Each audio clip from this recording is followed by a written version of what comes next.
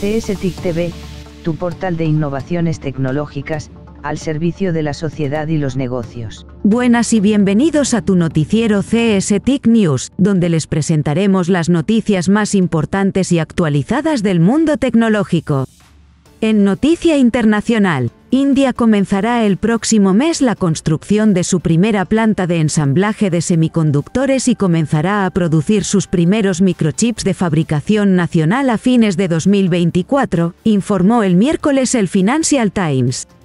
El ministro de Tecnología de la Información de India, Ashwini Vaishnaw, dijo que Micron comenzaría la construcción en agosto de una instalación de prueba y ensamblaje de chips de 2.750 mil millones de dólares en Gujarat, informó el periódico.